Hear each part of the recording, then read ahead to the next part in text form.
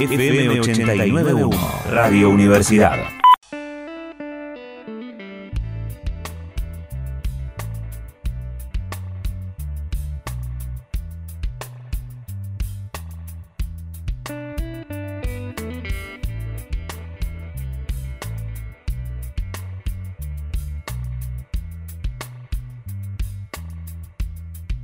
Seis minutos de las 11 de la noche y estamos en comunicación telefónica con Eduardo Martínez, periodista y analista internacional. Eduardo, muy buenas noches. Cristian Loyaco te saluda. ¿Cómo estás? ¿Qué tal? Buenas noches a todos. Eduardo, muchas gracias por atendernos, sobre todo a esta hora. Em, varias son las veces que hemos pensado en vos en este momento por todo el tema de Ucrania, de Rusia, las cosas que han pasado en Perú también. Eh, y aquí, ahora, eh, nuestro primer socio comercial y un país amigo y tan importante a nivel historia, a nivel social y cultural como Brasil, está pasando así por algunas sorpresas tipo roller coaster, ¿no? Como por ahí se veían venir, pero eh, como de montaña rusa. Parece que Lula va directo a ganar la presidencia en primera vuelta, pero también se encuentra con un Bolsonaro que sigue fuerte pese a los embates de, obviamente, su realidad negativa durante todo lo que fue la pandemia. ¿Cómo ves este escenario de Brasil de cara a octubre a las elecciones de, repito, este país tan importante de Latinoamérica, sobre todo para nosotros los argentinos, en lo que tiene que ver con lo económico y social? Sí, mira, primero hay, básicamente dos encuestas que, salieron publicadas en las últimas 24 horas.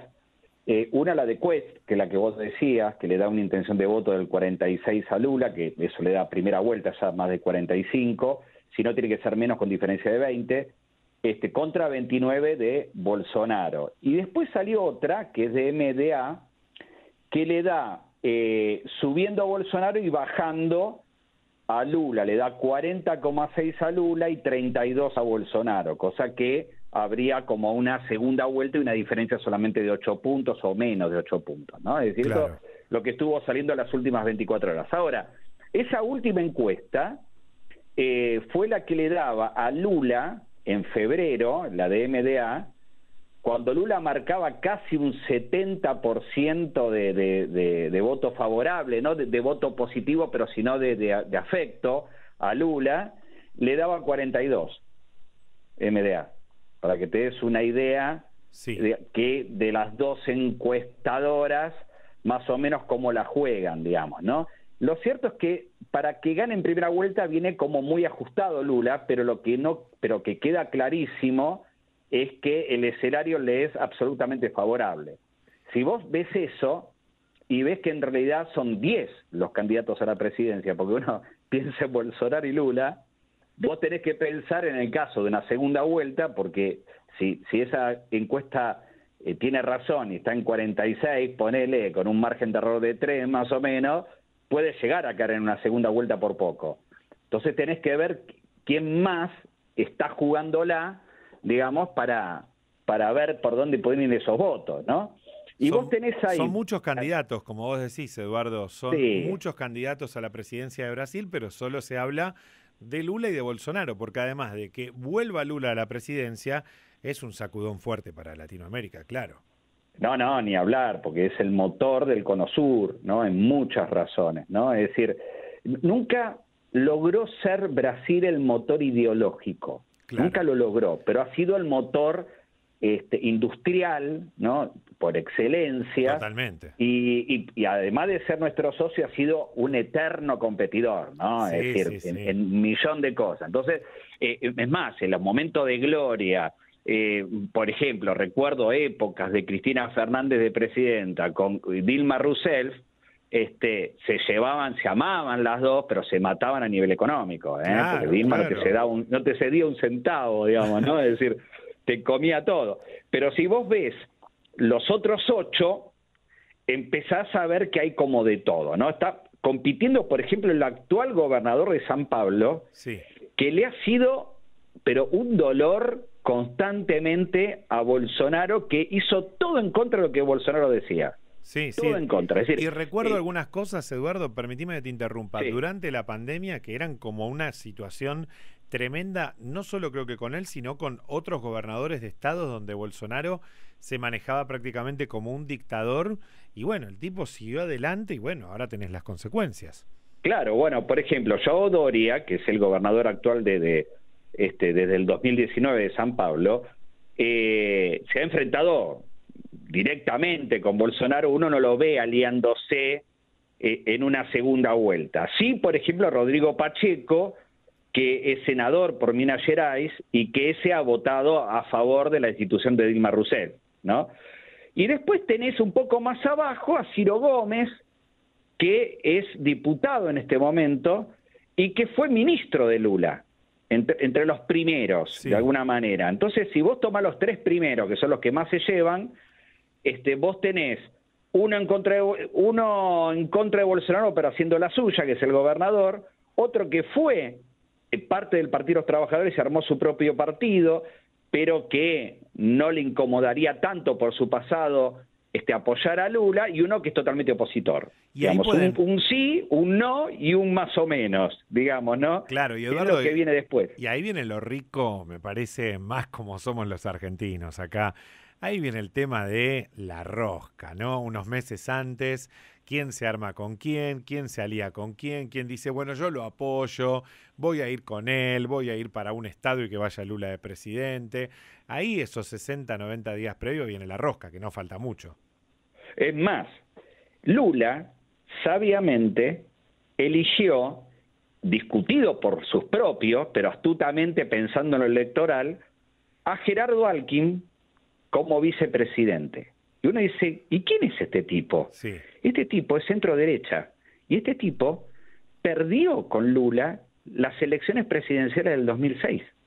¿Y qué hizo Lula? Lo llamó a él y dijo, hemos estado con diferencias muchos años, pero siempre nos quisimos y nos respetamos mucho. Con cierta Y lo sumó, claro, lo sumó de vice, sumando de alguna manera algún voto cercano a este, otras presidencias como Cardoso y demás, no históricas, y, y uno dice, está robando algún votito también por ahí, digamos, como para asegurarse, intentando asegurarse una primera vuelta. Ahora, uno dice, está bien, está fantástico, todos están haciendo la suya, como decía vos, en poco tiempo, faltan seis meses, va a empezar la rosca. Hay algo que quedaba como flotando, como pendiente, ¿no? Eh, supuestamente el talón de Aquiles de Lula, las causas. Mm. ¿Vos sabés cómo están las causas de Lula ahora? No. Mirá, las principales causas era el caso Cerveró, el caso del triple de Guarujá, el caso del Vendes la de los casas comprados a, Suiza, si no recuerdo mal, o a Suecia, que era el, Grimpen, los Grimpen, el caso de las automotrices, el de Instituto Lula y el caso de Antibaya. Te digo cómo quedó cada una de esas para que te des una idea de la movida que hubo en su momento. En el caso Cervero, por ejemplo, no solamente lo absolvieron, condenaron al tipo que lo acusó a 10 mil reales por daño moral. Hmm. Bueno, en el triple de Guarujá lo archivaron porque nunca hubo pruebas. En el caso de Vendes, por ejemplo, lo archivaron por falta de pruebas y dice la, la, acusación del Ministerio Público fue ni siquiera pudimos describir que esto era un crimen. Eh, eh, la causa de los automotrices lo absolvieron en junio del año pasado. La del Instituto Lula y la Antibaya prescribieron por, el paso del tiempo porque nadie pudo aportar ninguna prueba posterior después de la causa y la única que tiene abierta es la de los Casas Gripen. O sea que ya estamos, listo, basta de molestar a Lula. Es decir, todo lo que se estaba hablando de las enormes cantidades de causas que tenía Lula, quedó una abierta agarrada de los pelos. Y en esta, en esta última semana quiso este, eh, Bolsonaro como para tratar de volver a sacar el tema, medio muy preocupado, agarró el caso Bendes, que, que fue archivado por falta de pruebas, eh, vinculado a, a, Oderbrecht y todo eso, ¿no? que eran este, contratos para infraestructuras en Angola y una cosa así, parte de, del lavallato, eh, y esa causa, para que vuelva, Bolsonaro hizo una conferencia de prensa con el nuevo, nada, no, que no estaba en ese momento, con el nuevo gerente de Vendes diciendo la causa se archivó mal, tendrían que volver a investigar, ¿no? Es decir, desesperado para que ese causa, esa causa vuelva, porque es la causa que lo vinculaba directamente a Oderbrecht, digamos, ¿no? Entonces, es decir, en un manotazo para tratar de que todo eso que, que, lo llevó a él al poder vuelva, ¿no? Es decir, esto es un poco la, la, situación. Un Bolsonaro que se encuentra débil, que los propios lo ven con miedo, Sí, porque, porque, ha tomado también esas decisiones de haber sido medio emperador, ¿no? Sacar a uno, poner a otro, cambiar cuando quiere, hacer payasadas, me van con la opinión como comunicador lo que digo, ¿no? Y realmente tener una cifra de muertos en la pandemia que da escalofríos. Terrible. Hay un dato muy interesante de las últimas encuestas, ¿no? Que en eso las dos coinciden. ¿Qué fue lo que llevó Bolsonaro al poder? Eh, hubo mucho voto de las mujeres eh, en contra de Lula, porque las mujeres promueven mucho en Brasil, el, eh, mucho más que los hombres, el tema religioso. y, iba a decir, Brasil es muy, muy católico. Sí, pero lo que lo llevan al poder son los evangelistas. Claro. Entonces, ¿quiénes eran los que más promovían en su casa el evangelismo? Las mujeres, ¿no? Bueno, hoy la mayoría de las mujeres en la encuesta figuran a favor de Lula. Hoy. Es decir, eso es un elemento también como para irlo pensando, digamos, ¿no? Es decir, eh, ¿qué, ¿qué, podría pasar a futuro, ¿no? Si uno imagina si Lula eh, gana en primera o en, segunda vuelta, es decir, llega al poder. Eh, Lula, tenía básicamente dos fantasmas, ¿no? uno era las causas y otro era su salud. En la salud se lo ve muy bien, en las cosas fueron cayendo. Entonces uno dice, bueno, fantasiemos si Lula llega al poder. ¿Se puede reconstruir de alguna manera con esta con este cambio que hubo en Latinoamérica, donde hay eh, tres países más de izquierda superando, digamos, por tres países la izquierda o la centroizquierda o las democracias sociales frente a las derechas o los centros. Es decir, se puede hacer algo más y es posible que se pueda hacer algo más. Me parece que los personajes que hay hoy en este momento en la izquierda o en la centroizquierda no están alcanzando para generar un movimiento este, como lo hubo antiguamente, ¿no? De unidad y demás, como lo pudimos vivir en la UNASUR, y creo que Lula sí podría cerrar un poco la idea frente a un López Obrador que se ha mantenido muy al margen abiertamente y dicho al, propio Alberto Fernández diciendo yo tengo mis problemas cruzando el muro, digamos, es decir, mm, bastante tengo, digamos, esto es de ustedes, como diciendo, muchachos, arreglen ustedes, ¿no? Es decir, medio como que le dio el espaldarazo a Alberto Fernández en su momento antes de la pandemia, como diciendo, la unidad latinoamericana es tuya, no, no es mía en este momento, ¿no? Es decir, este, ahora Alberto Fernández no lo pudo hacer, no lo supo hacer, eh, creo que Lula sí podría concentrar por su carisma un poco de ese cambio. ¿no? Bueno, ojalá en algún punto para aquellos que eh, venimos del campo popular y en ese sentido tratamos de que las cosas estén en criollo, como siempre me gusta decir, mejor repartidas, ¿no? Y obviamente que te vamos a volver a, contactar porque sos muy claro y no solo que sos muy claro, sino que además con estos detalles sabemos y nos orientamos de lo que está ocurriendo, lo que se está palpando en Brasil, que digo algo más Eduardo y con esto cerramos obviamente y, y espero tu comentario si lo querés, pero así no te robamos más tiempo. Esperemos que estas derechas que acompañan a Bolsonaro no se manden ninguna.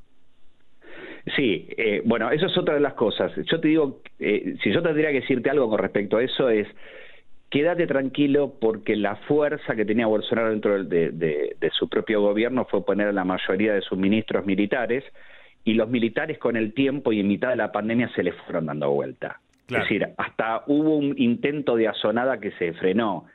Eh, que, también habría estado pésimamente mal, ¿no? No me importa que sea Bolsonaro que esté en el poder, no, claro, no me gusta ningún militar cerca de la casa de gobierno en ningún lado, pero este, pero lo cierto es que ese poder ya no lo tiene, lo que tiene Bolsonaro es lo que ves. Totalmente, totalmente que es una caída en picada y bueno, esperemos que obviamente pueda ser para el campo popular y un Brasil que necesita, ¿no? Y un Brasil que tal vez como motor industrial pueda también levantar un poco más Argentina. Eduardo, muchísimas gracias por tu tiempo y este análisis. Un abrazo grande a todos. Eduardo Martínez, analista internacional, pasaba por Plan de Radio. Desde la Universidad Nacional de La Matanza, Radio Universidad FM 891. Siempre cerca.